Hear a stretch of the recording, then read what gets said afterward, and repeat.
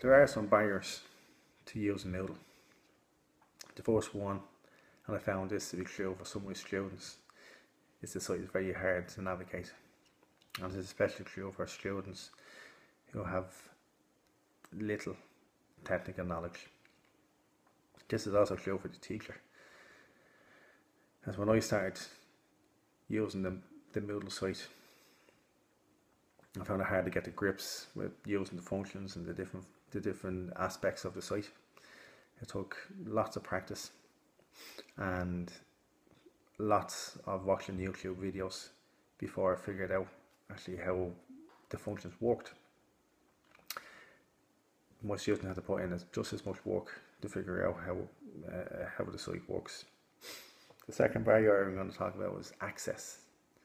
As a lot of my students come from socio-economic communities, poor backgrounds, they have not got the um, the funding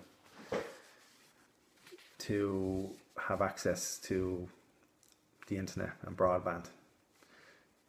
They also don't have access to laptops, tablets, and that type of thing to access the Moodle. And um, this is a disadvantage to them students, and it's also a disadvantage to myself because I cannot use the Moodle site with these particular students. The third barrier is change. Students don't like change and introducing something new into the course was met with some resistance. And because it involved a technology, some of the older students were very hesitant in trying the Moodle site. But once they did, I found that with practice and when they did get used to the functions, they really did begin to see the benefits of the system. In conclusion, with the use of technology in education, we are changing from a teacher-centered learning system to a student-centered learning system.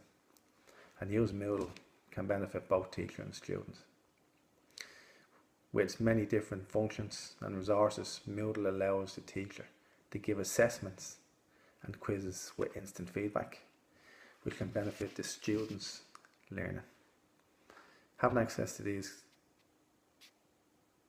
functions with course, course content can be sourced at any time and the use of forums to share and discuss ideas can only enhance the students' experience.